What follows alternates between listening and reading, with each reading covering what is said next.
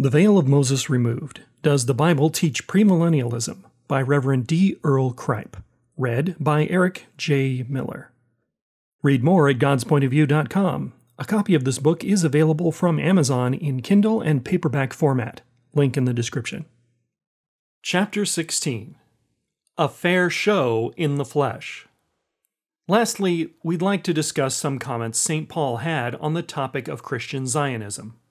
As many as desire to make a fair show in the flesh, they constrain you to be circumcised, only lest they should suffer persecution for the cross of Christ. For neither they themselves who are circumcised keep the law, but desire to have you circumcised, that they may glory in your flesh. But God forbid that I should glory, save in the cross of our Lord Jesus Christ, by whom the world is crucified unto me, and I unto the world.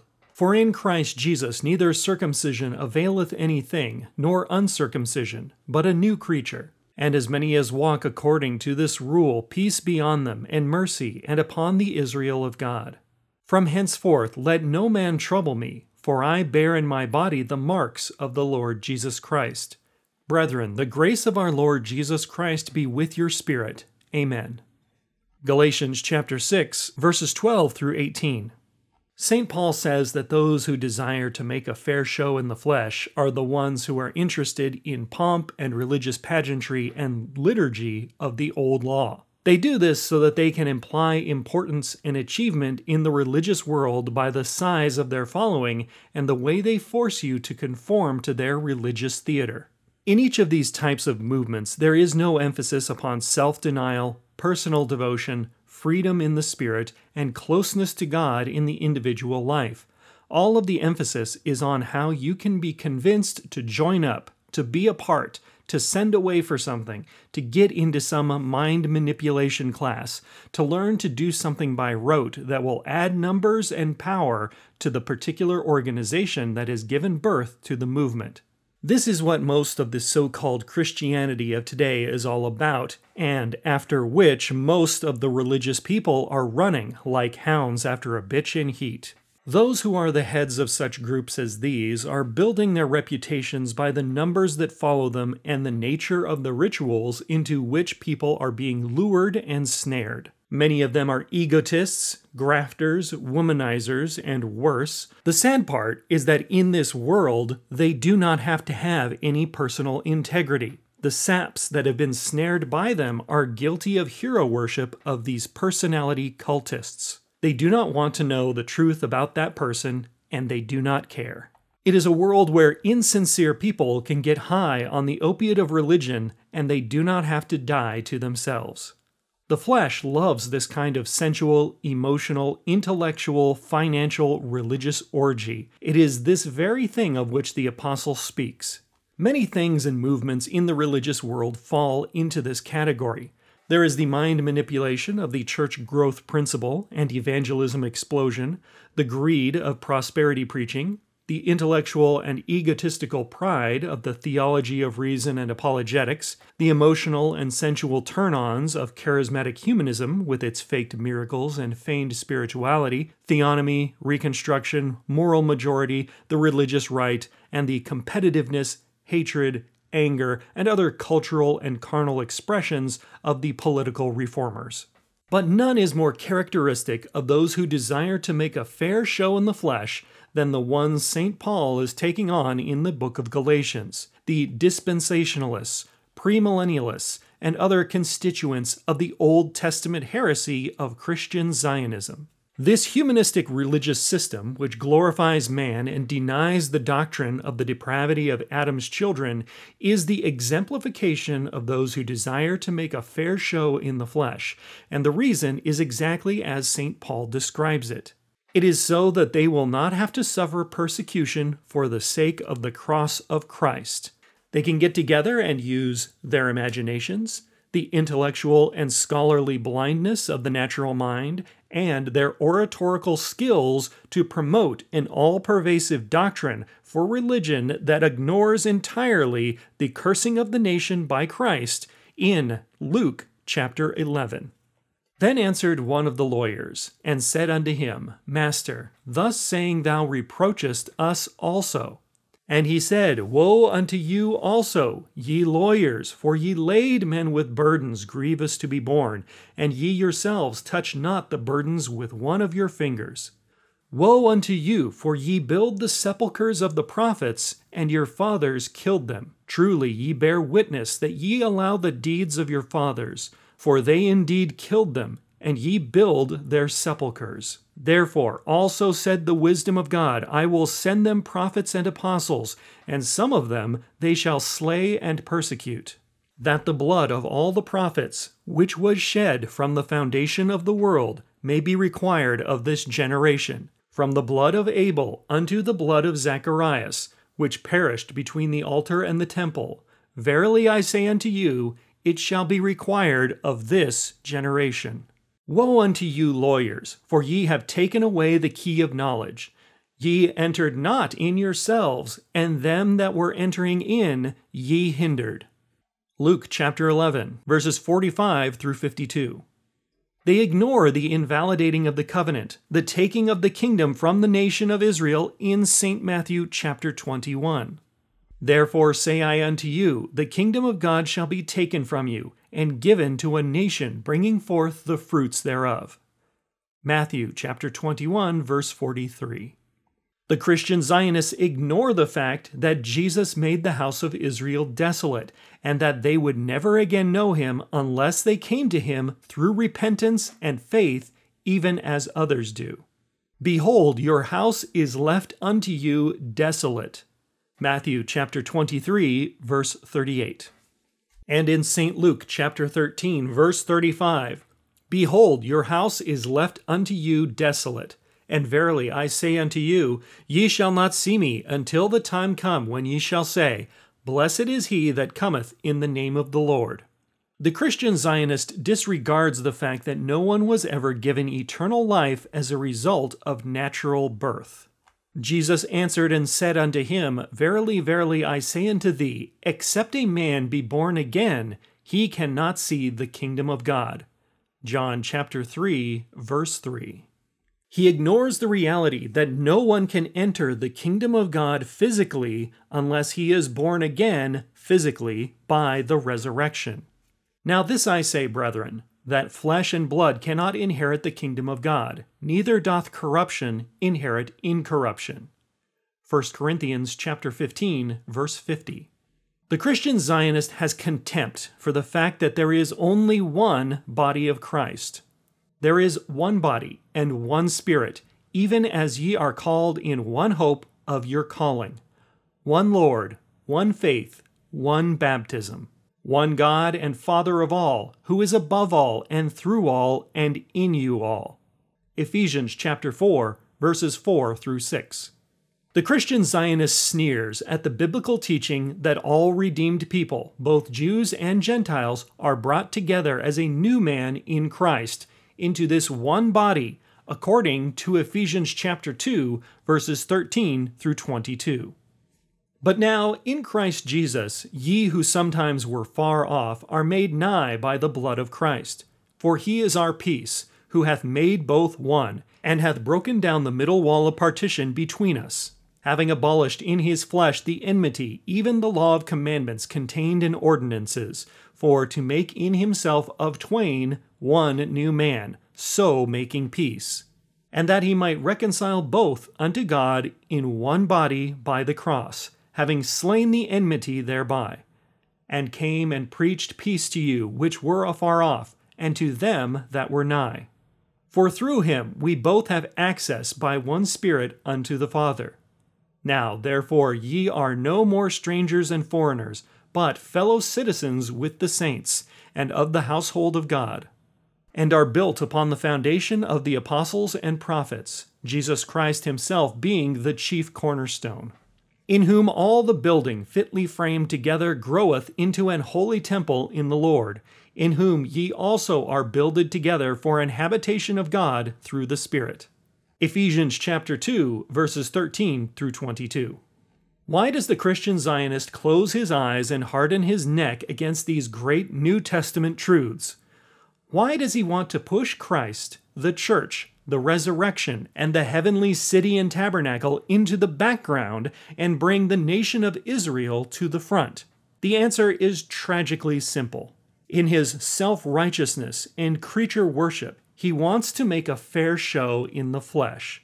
While he speaks of the cross, he disdains the cross, wishing to make the focus of time and history a people who will take the center stage of world religion without being born again or coming by way of the cross. In so doing, he is not really worshiping the Jews, but himself. He argues that God is eternally bound to these flesh and blood descendants of Adam, even though the covenant was conditional and they rejected and crucified Christ. When all the debris is swept away and the foundation of this doctrine is exposed, self righteous man is at the bottom of it.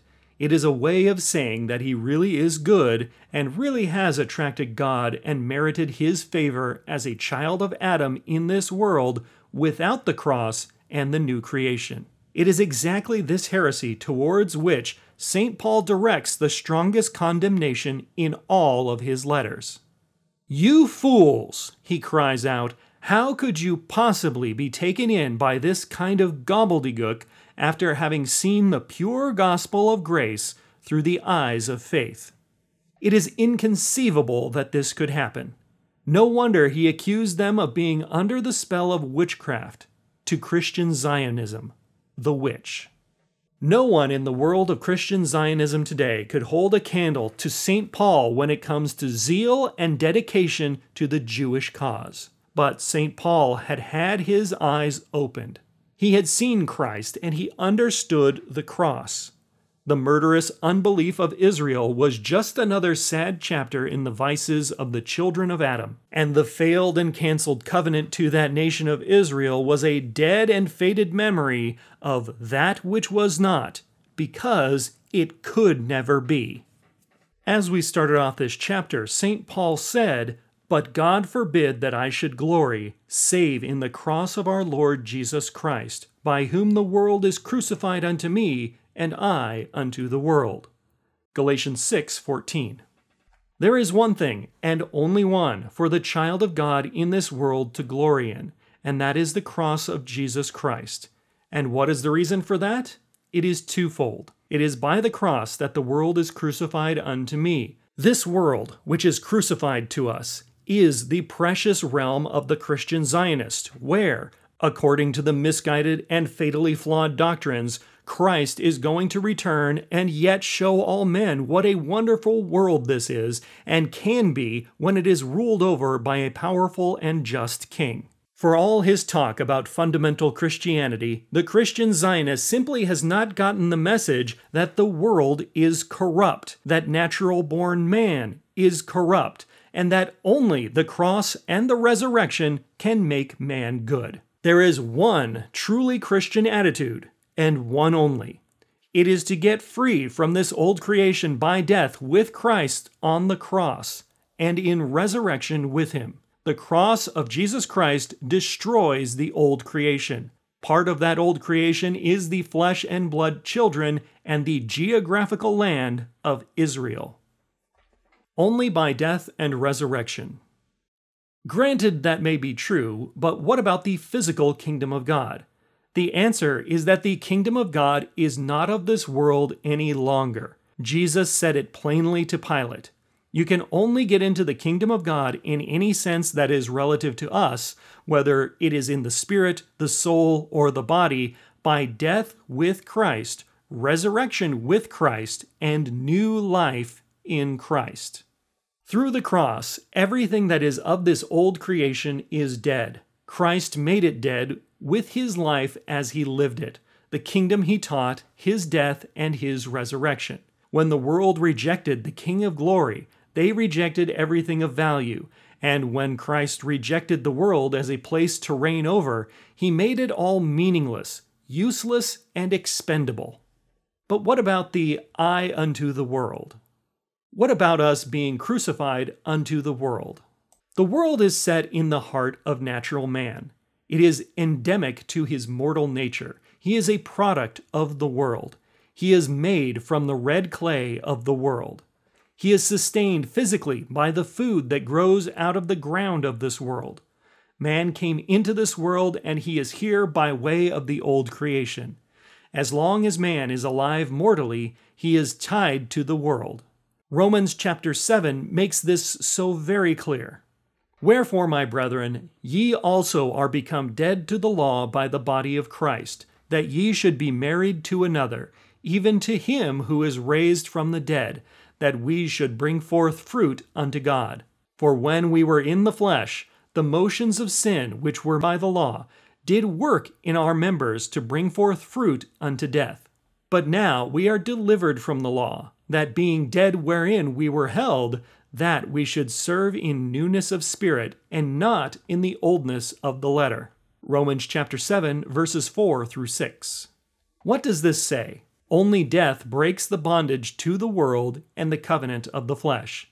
Only death with Christ results in new life in the new creation. St. Paul struggled with this reality as it applies to sanctification and the Christian life in Philippians chapter 3.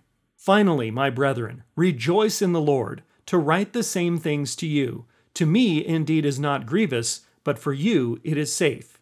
Beware of dogs, beware of evil workers, beware of the concision. For we are the circumcision, which worship God in the Spirit, and rejoice in Jesus Christ, and have no confidence in the flesh. If any other man thinketh that he hath whereof he might trust in the flesh, I more. Circumcised the eighth day, of the stock of Israel, of the tribe of Benjamin, and Hebrew of the Hebrews, as touching the law, a Pharisee. Concerning zeal, persecuting the church, touching the righteousness which is in the law, blameless.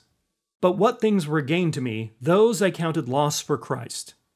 Yea, doubtless, and I count all things but loss for the excellency of the knowledge of Jesus Christ my Lord, for whom I have suffered the loss of all things, and do count them but dung, that I may win Christ, and be found in him, not having mine own righteousness, which is of the law, but that which is through the faith of Christ, the righteousness which is of God by faith that I may know him and the power of his resurrection and the fellowship of his sufferings, being made conformable unto his death, if by any means I might attain unto the resurrection of the dead. Not as though I had already attained, either were already perfect, but I follow after, if that I may apprehend that for which also I am apprehended of Jesus Christ. Brethren, I count not myself to have apprehended, but this one thing I do forgetting those things which are behind, and reaching forth unto those things which are before. I press toward the mark for the prize of the high calling of God in Jesus Christ. Let us therefore, as many as be perfect, be thus minded, and if in anything ye be otherwise minded, God shall reveal even this unto you. Nevertheless, whereunto we have already attained, let us walk by the same rule, let us mind the same thing. Brethren, be followers together of me, and mark them which walk so as ye have us for an ensample. For many walk, of whom I have told you often, and now tell you, even weeping, that they are the enemies of the cross of Christ, whose end is destruction, whose God is their belly, and whose glory is in their shame, who mind earthly things. For our conversation is in heaven, from whence also we look for the Saviour, the Lord Jesus Christ who shall change our vile body, that it may be fashioned like unto his glorious body, according to the working whereby he is able even to subdue all things unto himself. Philippians chapter 3 verses 1 through 21. Here the apostle is also warning the church against Christian Zionism. There are evil workers whose minds are on the flesh and the world. They think in terms of national Israel, the physical world, and the old creation. St. Paul had more in the regard to glorying than they did, but he would not do it. He saw it all as rubbish to be thrown away. His preoccupation was with dying to all that was of the old creation so that he could experience resurrection with Christ and know the new world, the righteousness by faith, and the marvelous will of God for his life. St. Paul was not talking about the future, but about the present time. His place in the resurrection on the last day had long since been assured, But the resurrection today is another matter. It requires constant death to self and resurrection with Christ. Yesterday's victories will not do for today. As long as we are in this world, we have never reached the apex. We must press on. In Colossians chapter 3, the truth is expressed as to how this is achieved in justification and how it can be achieved in sanctification. If ye then be risen with Christ, seek those things which are above, where Christ sitteth on the right hand of God. Set your affection on things above, not on the things on the earth. For ye are dead, and your life is hid with Christ in God. When Christ, who is our life, shall appear, then shall ye also appear with him in glory. Colossians chapter 3 verses 1 through 4. Those who have been resurrected with Christ, in terms of sanctification, spend their time and their emotions and efforts on those things which are above, at the throne of God, where Christ sits on the right hand of God.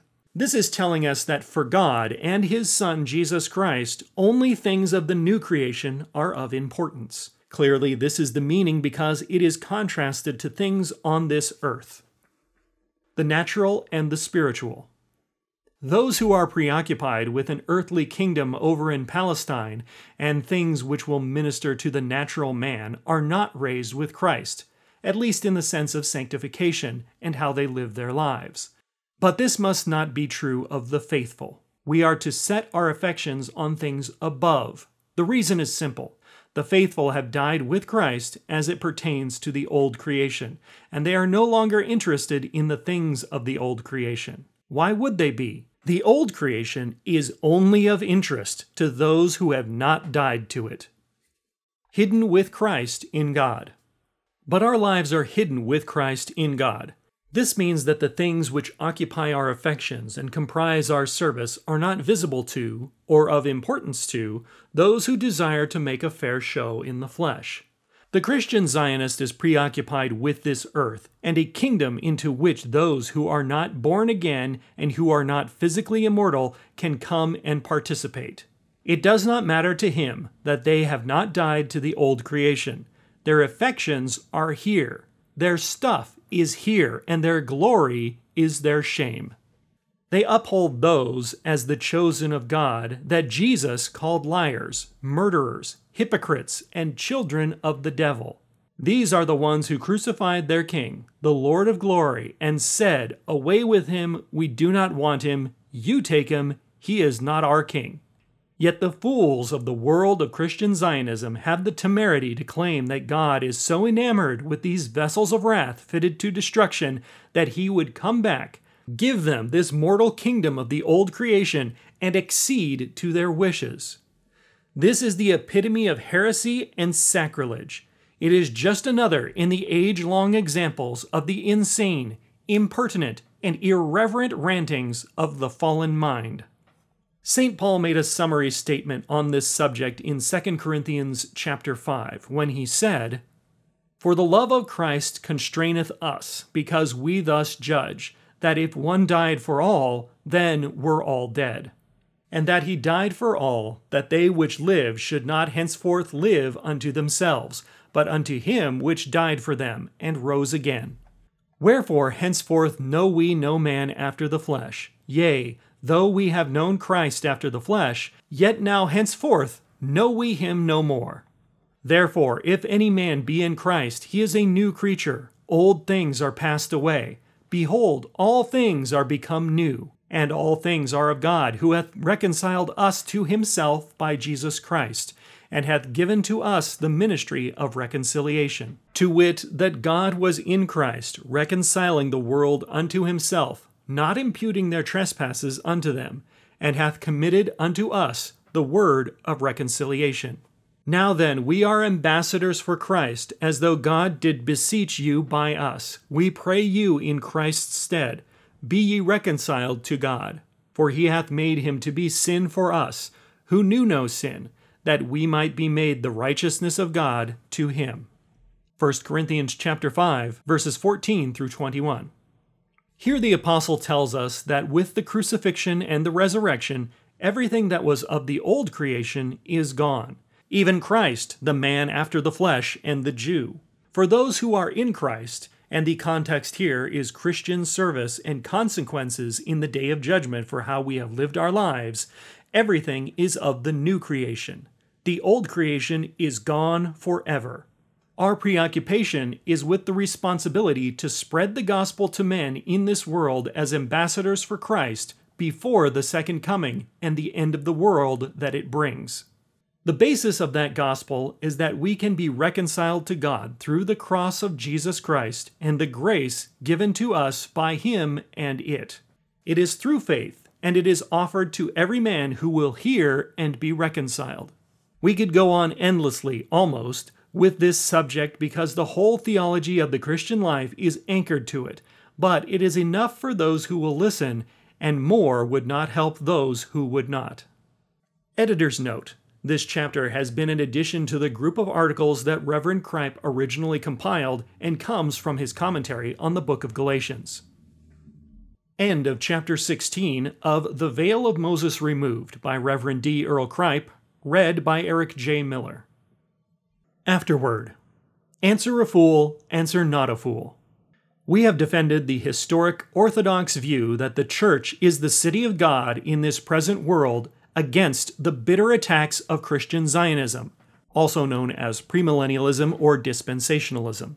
With this, we are going to end this discussion now. There are a dozen or more other subjects that we could have included, but if the point is not made by now, it is not going to be made. As for those other issues, we have books on Romans, Galatians, Ephesians, Hebrews, and Revelation that give the orthodox answers of the historic church for those who are seeking truth.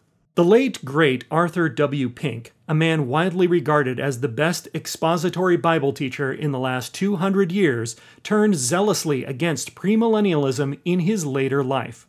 So vexed was Pink for having been in the vanguard of those who promoted these Jewish fables that he went so far as to label it a demonic doctrine.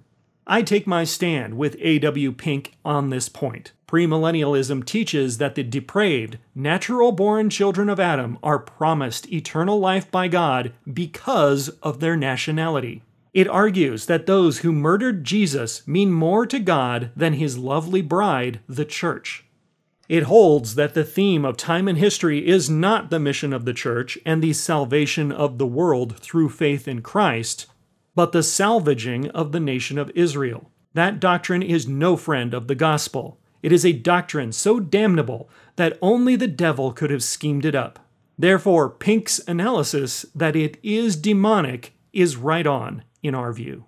As a parting thought, I wish to say that I, and those who rest their faith on the revealed scriptures as I do, take it kindly when we are called heretics, people who do not believe the Bible anymore, one who does not believe in the second coming anymore, and all of the other poisonous accusations designed to intimidate and to scare people away. Jesus said to rejoice and to be exceedingly glad when that happened because it puts one in good company. I appreciate being in that company. I am glad when it happens, and I am rejoicing because of it.